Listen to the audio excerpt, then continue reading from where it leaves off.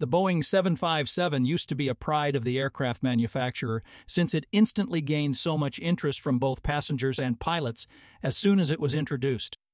However, the production of this aircraft lasted only 23 years, much shorter than the predecessor 737 family. In fact, the 737 family is now still in development and production.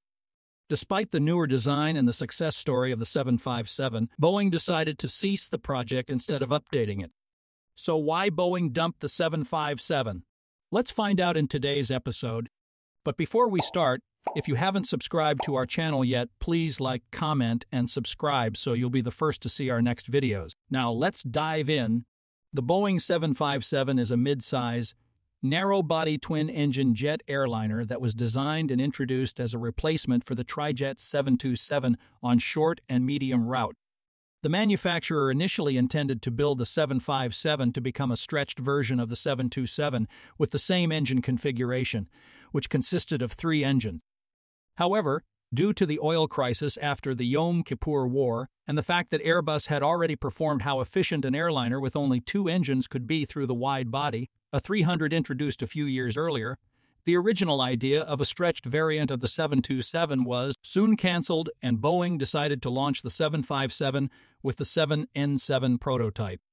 It was developed concurrently with the Boeing 767, a wide-body twin jet, and the two shared design features and flight decks which allowed pilots to obtain a common type rating to operate both aircraft. During its production from 1981 to 2004, it became well known for its versatility, operating both short and long haul routes. The aircraft was capable of carrying 200 to 295 passengers and was powered by Rolls-Royce RB211 or Pratt and Whitney PW2000 series engines. It was praised for its fuel efficiency and performance, particularly its ability to take off from short runways, which made it a valuable asset for airlines operating at airports with noise restrictions or in hot and high conditions. Until the 1990s, it was the most produced jet aircraft before the 737 took over. So, how come a newer designed aircraft had to witness a downward trend in sales, which then eventually turned into a cessation? There are four major factors that led to the end of the 757 production. The first reason, which is quite obvious, is that airlines stopped ordering the 757. Originally developed in the 1970s, the Boeing 757 was crafted to cater to the hub and spoke travel model prevalent during that era, where major airlines, particularly in the United States and Europe, centralized their operations around large hubs and predominantly relied on wide body aircraft such as the Boeing 747 to service high demand, long haul routes. The design of the 757 did not initially prioritize accommodating low demand point to point travel, a role it currently fulfills in modern aviation operations. As the aviation landscape evolved into the early 2000s, Boeing encountered challenges with sluggish sales of the 757. Despite launching a revamped marketing initiative in 2003, the company faced difficulties in replenishing its order book. The aftermath of the September 11 terrorist attacks further exacerbated the situation, leading to a decline in passenger numbers and prompting airlines to refocus their efforts on established routes with proven profitability. In response to the shifting market dynamics post September 11, carriers began reducing capacity on various routes and shifted their focus away from expanding services and investing in lower capacity long haul flights. This strategic realignment reflected a broader industry trend where airlines prioritized operational efficiency and revenue optimization in a challenging economic environment.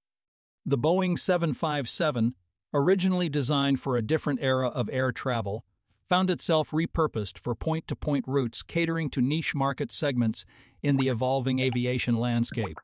Of course, the unpredictably long lasting downturn after September 11 affected aircraft sales of all types, not only the 757, Unfortunately, the 757 sales had already declined significantly by that time, particularly in contrast to the Airbus A320 and the 737 series.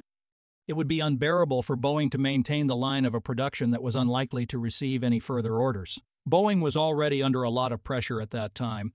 The second reason is about the engines.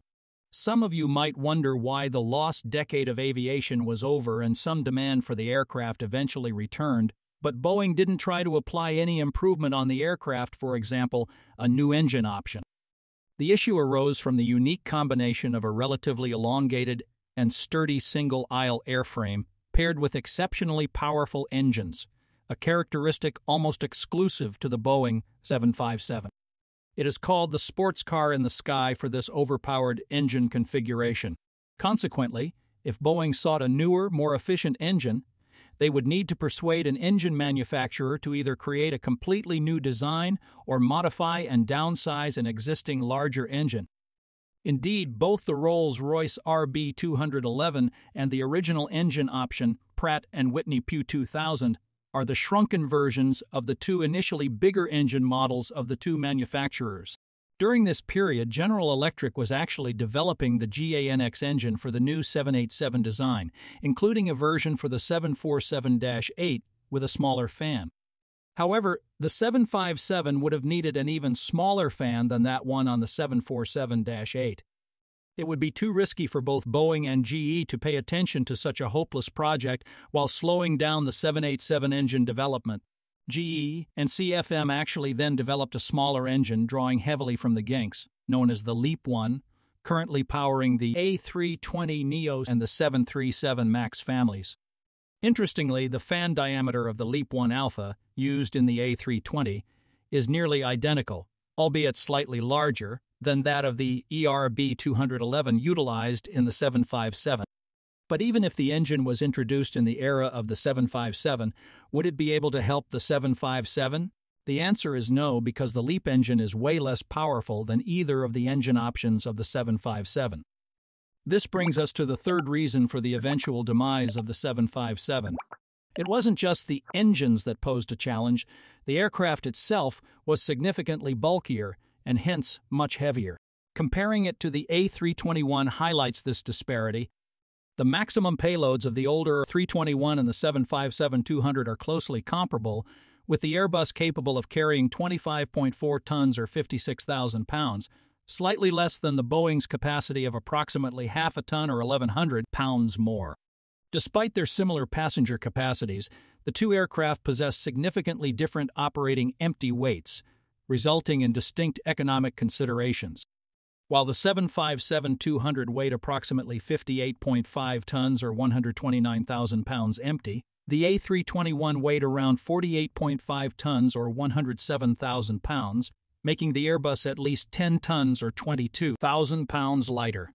This substantial difference primarily stemmed from the 757's design catering not only to hot and high performance, but also a longer range, necessitating the capacity to carry more fuel, Boeing contemplated a shorter variant, the 757-100, during the design phase, retaining the same passenger exit limit as the 757-200.